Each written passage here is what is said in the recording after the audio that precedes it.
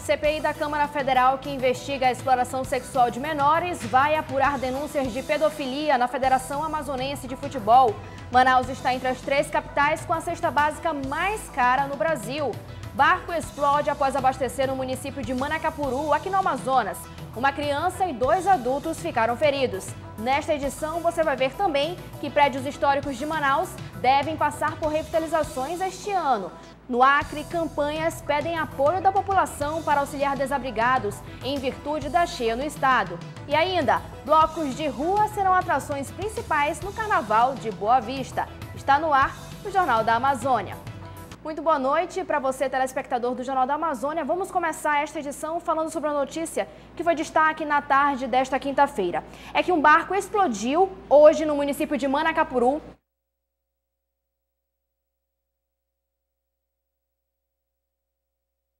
que saiu de Coari com destino a Manaus. Uma criança e dois adultos ficaram feridos.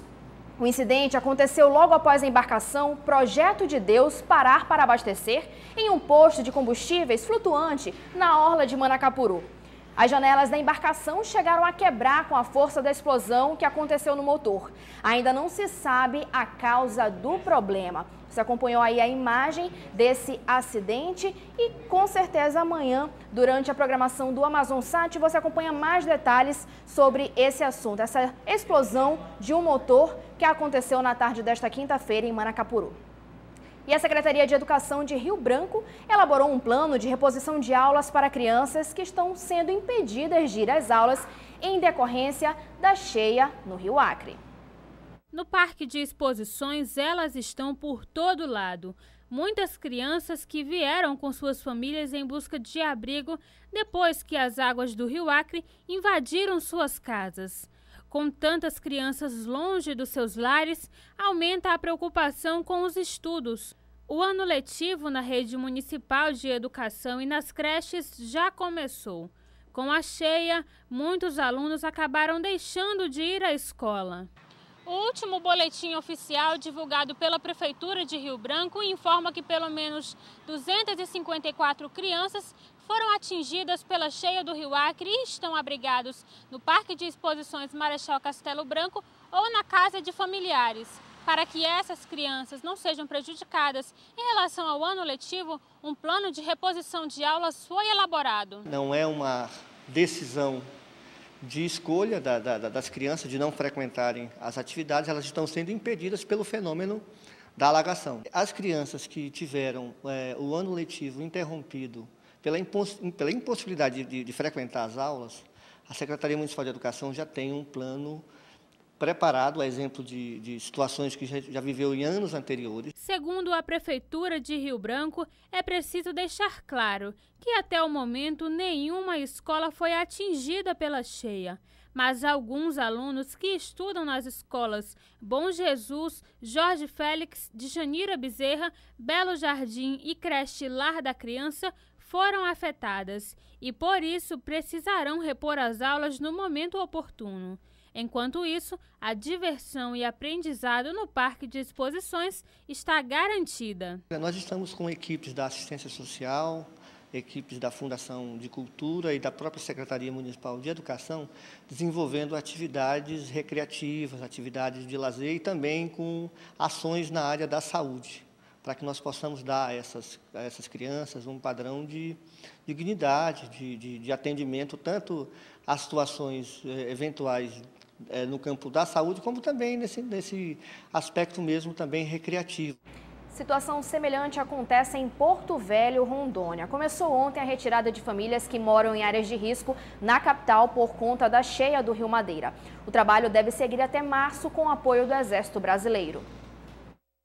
Entre cadeiras, o vigilante Francisco da Silva acomodou a sua mobília. É nesta sala de aula da Escola Municipal Maria Isaura da Costa Cruz, no bairro Costa e Silva, que ele vai morar até a casa dele, que fica em área de risco, fique livre da água do Rio Madeira, que não para de subir. Situação que ele já está cansado de enfrentar. Todo ano é a mesma coisa, todo ano essa humilhação que a gente sofre com as alagações. Né? E a gente acaba também sofrendo alguns prejuízos com relação aos nossos móveis.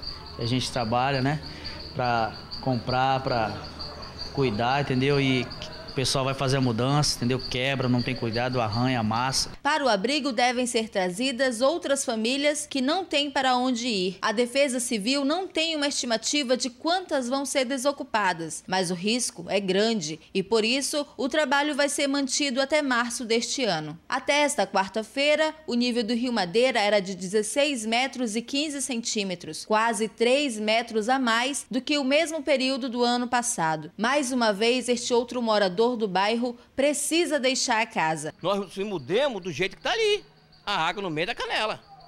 E até agora não resolveu nada. Quem resolveu o resto local para cá, para a gente, foi o coronel da Defesa Civil. Ele mora há três anos no local e aguarda o remanejamento para o outro lado do rio por conta da obra da ponte sobre o Rio Madeira, mas está cansado de esperar. Além da iminência de alagação, as famílias também enfrentam riscos de contaminação, com a água suja e ataque de animais peçonhentos, mas muitas resistem à desocupação. E voltando a falar sobre a situação, situação da cheia no Rio Branco, ah, para priorizar a alimentação das crianças desabrigadas pela cheia, as campanhas Rio Branco Amiga e Acre Solidário fazem um apelo à sociedade. É o que você acompanha agora na reportagem. Fraldas descartáveis, leite e massa para mingau. Estes são os principais produtos doados ao Comitê de Arrecadação de Donativos em prol dos desabrigados. Mais de 200 famílias deixaram suas casas e foram levadas ao abrigo municipal por conta da cheia do Rio Acre, que ultrapassou a cota de transbordamento e, até o momento, atingiu mais de 15 bairros na capital. E nós estamos também pedindo com antecedência para que as pessoas se organizem e pensem que nesse primeiro momento a gente está precisando muito de cuidar bem dessas crianças que estão aqui. As coordenadoras da campanha de arrecadação de donativos explicam que, apesar da prefeitura fornecer três refeições diárias, é necessário que a população se sensibilize para garantir uma boa alimentação às crianças. A gente vem aqui pedir o apoio dos empresários, dos comerciantes, da sociedade civil em geral, para que possa nos ajudar a dar um pouco mais de carinho para essas pessoas. A campanha de doações conta com oito pontos de arrecadação de alimentos e donativos distribuídos na capital acriana. Tem os supermercados Araújo, no, no Tangará e no Aviário. A gente tem a própria sede da prefeitura ali no térreo, na sala da São Rio Branco Amiga. A gente tem a Igreja Batista do Bosque, no Bosque. A gente tem a Igreja Internacional da Graça, que fica ali próximo ao terminal, em frente ao Mercado Elias Mansur. Né? Aí temos também a OCA, agora em parceria com o governo do estado, a Catedral da Igreja Católica e também a Igreja Santa Inês lá no Bosque. E no Amapá, o Instituto de Meio Ambiente e Ordenamento Territorial, IMAP, fez a apreensão de madeira transportada sem documentação. O produto estaria sendo retirado de áreas de assentamentos do município de Mazagão. O diretor de fiscalização do Instituto de Meio Ambiente e Ordenamento Territorial, conta que em janeiro deste ano, o IMAP recebeu uma denúncia da derrubada e roubo de madeira de áreas de assentamentos da região de Mazagão. Um grupo de homens estava entrando nos terrenos sem autorização, cortando árvores e retirando as toras para comercialização.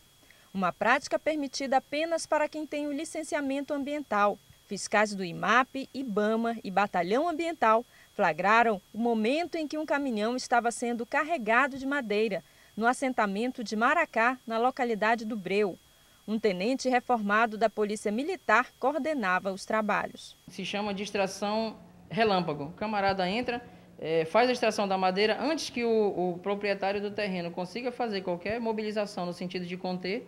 Aí eles chegam, retiram essa parte da madeira e vão embora. Foram apreendidos 9 metros cúbicos de madeira, um motor serra e uma picape utilizada para dar cobertura ao caminhão. Estavam envolvidos em torno de 10 pessoas, com um caminhão e uma courrier que fazia o processo de, de monitoramento para poder tirar a atenção dos órgãos ambientais e avisar o caminhoneiro para que ele escondesse esse caminhão no mato por ocasião de uma ação de fiscalização. Dez pessoas foram levadas para a delegacia. Elas vão responder por crime ambiental. Ninguém foi preso um procedimento administrativo foi instaurado contra o militar acusado de retirar e transportar madeira sem o documento de origem florestal. Manaus está entre as três capitais com a cesta básica mais cara no Brasil. A pesquisa divulgada pelo Departamento Intersindical de Estatística e Estudos Socioeconômicos, o DIESE, nesta quinta-feira, aponta alta de 5,04% em janeiro do ano passado, mantendo a elevação pelo terceiro mês consecutivo. Na capital amazonense, a cesta básica custou R$ 323,22 em janeiro. A capital ocupa a terceira colocação dentre as 18 capitais onde é realizada a Pesquisa Nacional da Cesta Básica. Vitória e São Paulo ocupam a primeira e segunda colocação, respectivamente. O vilão no mês foi mais uma vez o tomate. Segundo o Diese, um trabalhador que ganha um salário mínimo aqui em Manaus comprometeu em janeiro 48,53% de seu rendimento líquido, R$ 666,08, após o desconto de 8% referente à contribuição previdenciária, com a aquisição destes alimentos da cesta básica. E você vai ver a seguir a CPI da Câmara Federal que investiga a exploração sexual de menores vai apurar denúncias de pedofilia na Federação Amazonense de Futebol. Nós voltamos já.